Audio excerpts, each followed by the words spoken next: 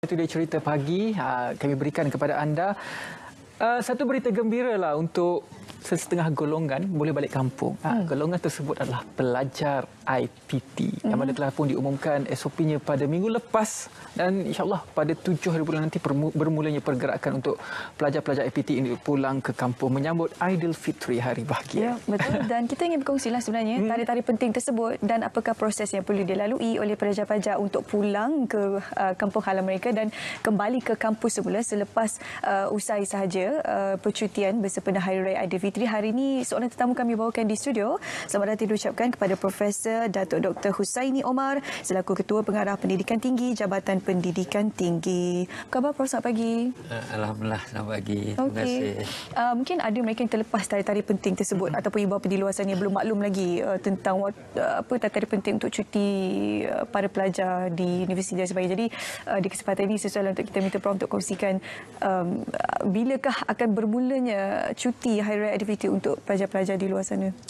Uh, terima kasih Su. Um, seperti apa ni uh, Raduan, uh, Raduan cakap tadi, memang ini adalah satu-satunya um, uh, saya rasa uh, peluang yang diberikan uh, kepada pelajar-pelajar untuk pulang menyambut hari raya Aidilfitri bersama dengan keluarga. Jadi uh, pergerakan pulang ni uh, yang dibenarkan oleh MKN yang telah diluluskan adalah bermula daripada pada daripada 7 hari bulan Mei sehingga 12 Mei untuk pulang beraya. Uh, 13 14 kita dah tahu dah memang hari raya. Uh, jadi um, seminggu awal diberi untuk pulang menyambut hari raya. Uh, pergerakan ni pula adalah berperingkat, berfasa. Ah, dan fasa-fasa daripada 7 hingga 12 Mei tadi eh, kita berikan kepada IPT uh, masing-masing untuk menentukan. Uh, bilakah pelajar tu uh, pelajar-pelajar yang mungkin ada yang yang yang ha, habis awal program dia jadi dia boleh bermula daripada awal untuk balik uh, 7 hingga 12 dan diberi selama uh, seminggu untuk berada uh, di kampung halaman masing-masing So maknanya mana-mana uh, pelajar yang balik pada tujuh hari bulan, dia kena kembali ke kampus semula pada uh, 15 Mei. Hmm. Uh, jadi uh, dan pergerakan balik semula ke kampus tu akan bermula daripada 15 Mei hingga 20 Mei. Jadi uh, itu uh, pergerakan pelajar tadi kita serahkan kepada IPT masing-masing lah untuk membuat uh, Uh, perjalanan secara berperingkat. Lah. Hmm. Mana bukan semua pelajar sekaligus. Kita ada lebih kurang dalam uh, uh, 100 ribu pelajar sekarang ini berada di kampus uh, berdasarkan enam kategori yang telah dibenarkan sebelum ini. Jadi uh, sebenarnya total pelajar yang berada uh, sekarang ini yang kita ada jumlah pelajar sebenarnya adalah 1.3 juta. Jadi uh, kalau kita tengok macam tu uh, cuma yang ada di kampus lebih kurang 10% saja. Yang dibenarkan daripada enam kategori, enam kategori awal iaitu yang yang yang nak menjalankan amali, yang nak menggunakan makmal, yang ada latihan industri dan sebagainya, pelajar-pelajar tersebut dibenarkan. Ada enam kategori tadi. Yang tiada akses, yang tidak kondisi yang sebelum ni. Yang uh, pelajar asasi ataupun diploma yang telah berada di kampus. Uh, dan juga uh, pelajar-pelajar antarabangsa kecuali pelajar daripada United Kingdom. Kita tak benarkan uh, datang ke Malaysia.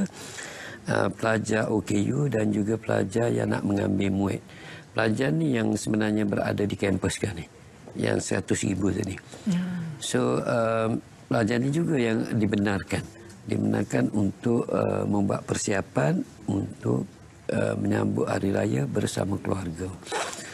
Dan uh, uh, bagaimana uh, apa ni mereka nak pulang? Okay. Kaedah uh, kaedah dia bagaimana, bagaimana mereka ni uh, dibenarkan pulang.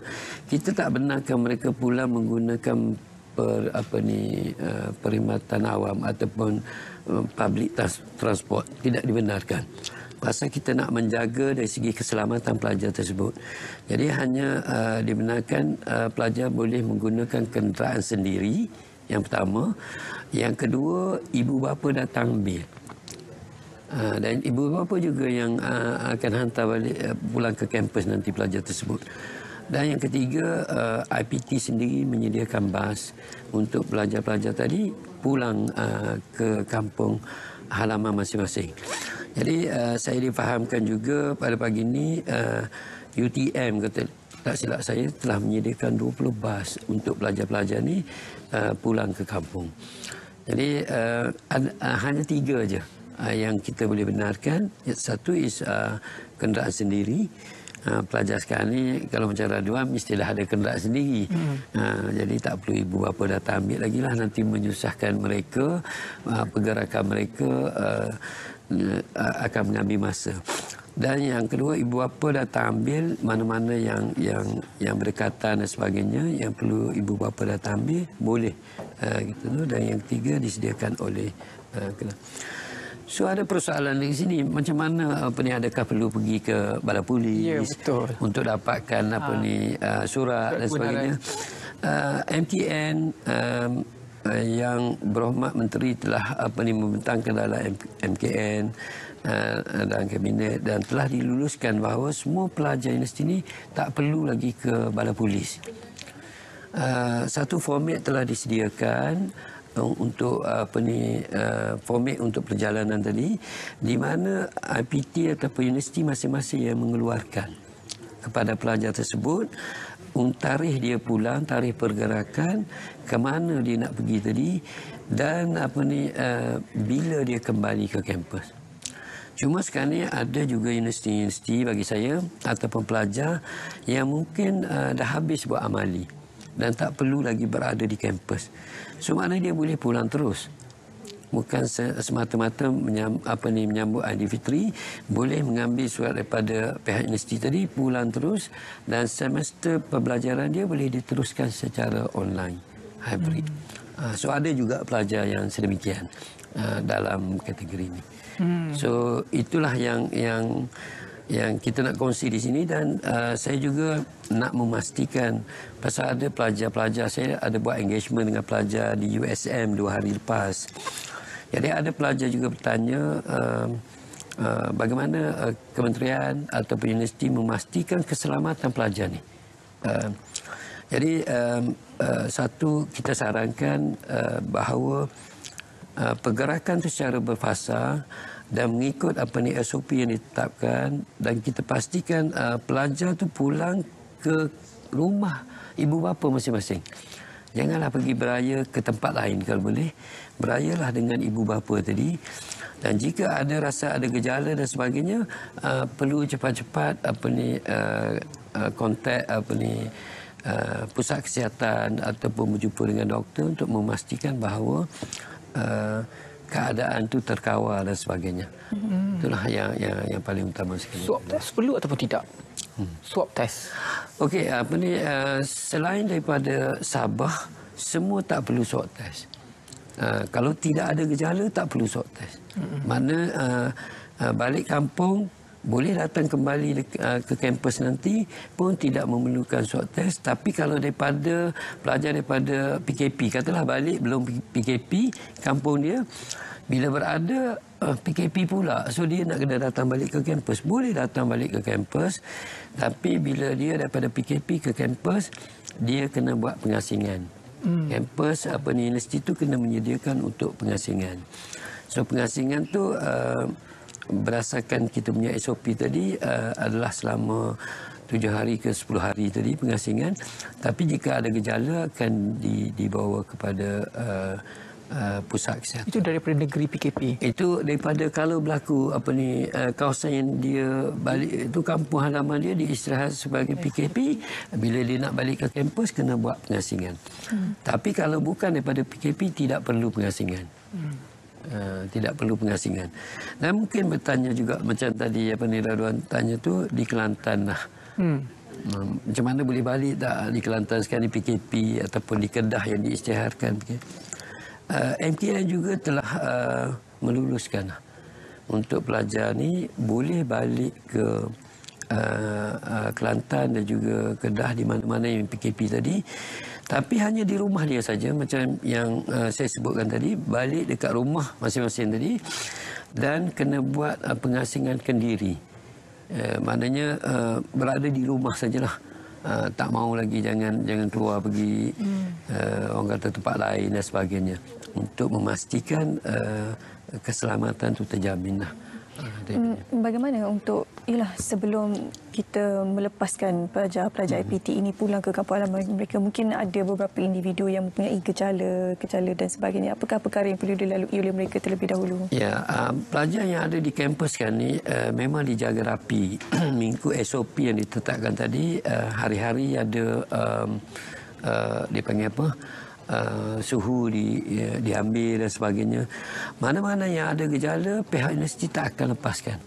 Tak akan lepaskan pelajar tadi uh, pulang berhari raya. Hmm. Mereka akan berada di kampus bersama-sama dengan pihak universiti lah. Hmm. Yang akan memastikan mereka terjaga di universiti tersebut. Hmm. Uh, jadi uh, ada juga persoalan uh, yang ditanya, uh, ada pelajar yang berada di um, uh, yang membuat latihan industri dia memang bukan berada di kampus. Uh, dia berada di industri. So boleh tak dia balik kampung juga? So boleh. Selagi dia pelajar dia boleh balik kampung. Hmm. yang pentingnya dia kena ambil uh, surat pelepasan tadi daripada pihak universiti. Hmm. pihak universiti membenarkan.